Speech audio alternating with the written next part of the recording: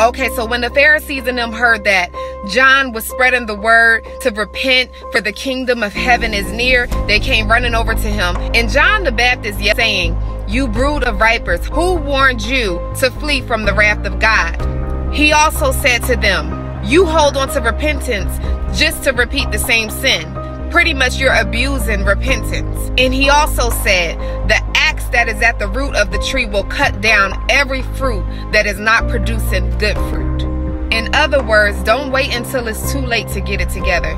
As we see the earthquakes is happening, as we see the flooding is happening, as we see people are getting video footages of falling angels falling out of the sky. So how to repent? Recognize the sin, feel sorrow for the sin, forsake the sin, meaning stop the sin, confess the sin in prayer, make restitution for the sin. If you know you have been lying to somebody or lying to people, you need to go back and tell the truth. And you also need to forgive others who sinned against you. And last but not least, keep God's commandments.